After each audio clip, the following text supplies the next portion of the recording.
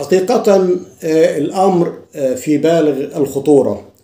ليه؟ لأن في بعض السيدات وبعض الأشخاص ظهروا على السوشيال ميديا وهذه الأشخاص والسيدات آه، يقومن بتصنيع الصابون السائل في المنزل. وده مش عيب وده كويس. ولكن المشكلة إن هذه السيدات تقوم بتصنيع الصابون السائل باستخدام مواد حارقة ومواد كاوية ألا وهي الصودا الكاوية. الصودا الكاوية حضراتكم عارفين إن هي آه، خطيرة جدا. لو استعملت آه، يعني بدون آه، خبرة في التعامل مع هذه المواد الكاوية والحارقة ولكن هي بتيجي بتحط أي كميات غير مقدرة.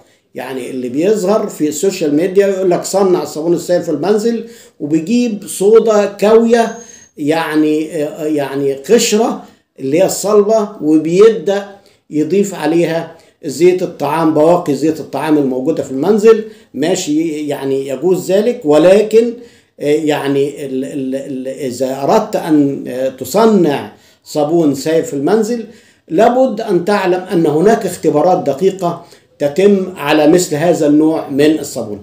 معلوم للجميع إن إحنا لو حطينا دهن اللي هو الزيت مع القلوي اللي هو الصودا الكاوية هيدينا في معادلة التصابن صابون زائد جليسرين.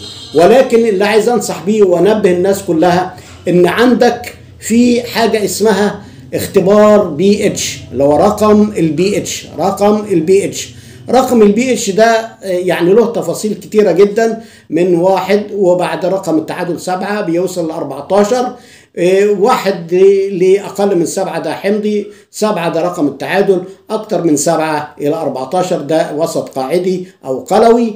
لابد إن يكون الصابون السائل الناتج عندك يكون رقم البي إتش بتاعه يكون عندك عند رقم سبعة.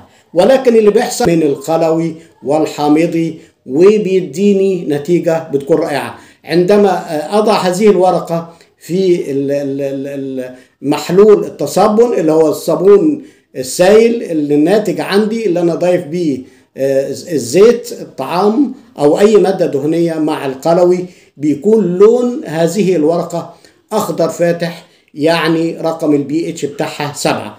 عايز تعرف تفاصيل أكتر؟ وتعرف حاجات أكتر ادخل على الفيديو اللي تحت ده هتعرف خطورة تصنيع الصابون السائل في المنزل.